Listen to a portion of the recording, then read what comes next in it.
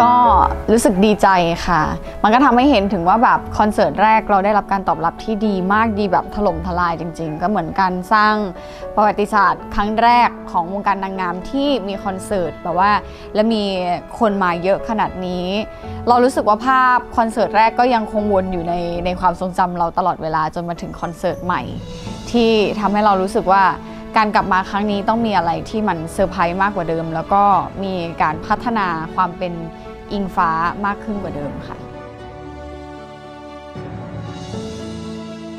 ครั้งที่แล้วเนี่ยต้องย้อนกลับไปก่อนว่าครั้งที่แล้วเราเล่าถึงเรื่องราวสตอรี่ความเป็นไปเป็นมาของอิงฟ้ามหาชน มันจะมีทั้งดราม่ามีทั้งการสู่ชีวิตความพยายามต่างๆ เรียกได้ว่าคอนเสิร์ตแรกนี่คือถ้าจะเป็นไบโพล่าเลยคือเดี๋ยวร้องไห้เดี๋ยวเต้นเดี๋ยวร้องไห้เดี๋ยวเต้นใช่ไหม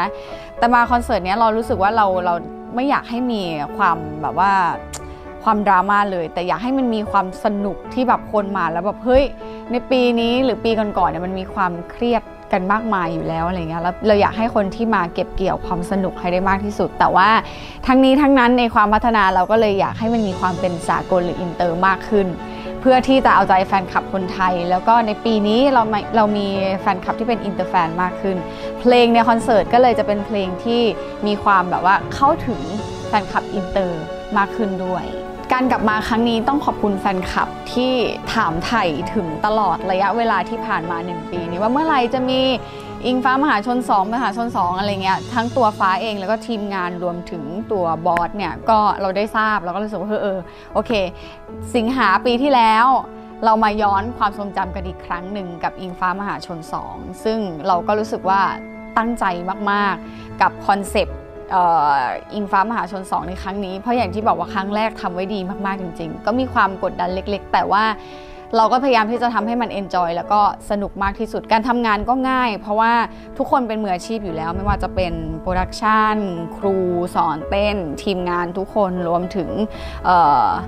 performance ต่างๆ ที่จะต้อง on stage เนี่ยคนที่อยู่เบื้องหลังคนตัดชุดทุกอย่างก็คือเรามีมีการทำงานร่วมกันมาแล้ว หลายครั้ง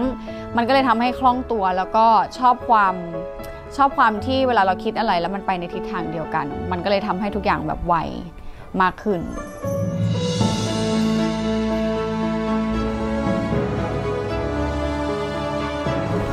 โอ้มันก็ต้องไล่ค่อนข้างที่จะยาวนิดนึง อันดับแรกเลยนะคะคอนเสิร์ตนี้เนี่ยจะเกิดขึ้นไม่ได้เลยถ้าหากว่า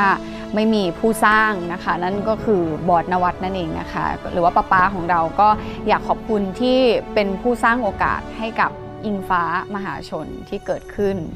ไม่ว่าจะโอกาสไหนๆก็ตามนะคะ รวมถึงโอกาสนี้ที่ทำให้เราได้มีความทรงจำแบบว่าประวัติศาสตร์อีกครั้งหนึ่งครั้งที่2นะคะขอบคุณที่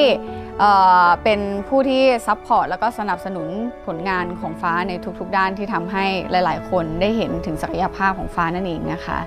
แล้วก็ต่อมาอยากขอบคุณทีมงานนะคะ คุณครูทุกคนที่อยู่เบื้องหลังพี่ๆแดนเซอร์นะคะ แล้วก็ทีมงานทุกคนเลยที่เป็นผู้ที่ร่วมสร้างคอนเสิร์ตนี้ขึ้นมานะคะ ไม่ว่าจะเป็นการออกแบบการดีไซน์ หรือว่าอะไรก็ตามที่ทำให้เกิดคอนเสิร์ตที่สนุกและก็มันจะเรียกได้ว่าเป็นความทรงจำที่ดีมาก ๆสำหรับฟ้าอีกหนึ่งความทรงจำก็อยากขอบคุณทุกคนที่เต็มที่กับงานนี้นะคะ รวมถึงอยากขอบคุณแฟนคลับ อันนี้ก็สำคัญมาก ๆนะคะ ขาดไม่ได้เลยที่ขอบคุณที่ยังนึกถึงกันตลอดในผลงานด้านการเป็นศิลปินที่อยากเห็นพี่ฟ้าแบบเป็นนักร้อง หรือว่าใน part ของการร้องเพลง ขอบคุณที่ บางคนก็คือมาจากต่างจังหวัดมาจากต่างประเทศ ข้ามน้ำข้ามทะเลกันมา ขอบคุณที่แบบลางาน ขอบคุณที่ ทุกอย่างที่เสียสละเวลามา แล้วก็ทุกการ support ไม่ว่าจะเป็นบัตร หรือว่าคนที่ดูอยู่ทางบ้านกลุ่มผิดอะไรก็ตามนะก็อยากขอบคุณที่รักแล้วก็ support อยากให้อยากให้ทุกคนสนุกแล้วก็ enjoy กับ moment ตรงนี้เพื่อที่เราจะเก็บความทรงจำดีๆ แบบนี้ไว้ตลอดไปด้วยกันกับอิงฟ้ามหาชน 2 ค่ะ แล้วก็สุดท้ายนี้อยากขอบคุณตัวเองด้วยที่ไม่ละถึงไม่ละทิ้งถึงความตั้งใจความพยายามที่จะทำให้โมเมนต์แบบนี้มันเกิดขึ้น แล้วมันก็สนุกไปกับทุกคนด้วยกัน เราจะไม่มีวันลืมความทรงจำนี้แน่นอนค่ะ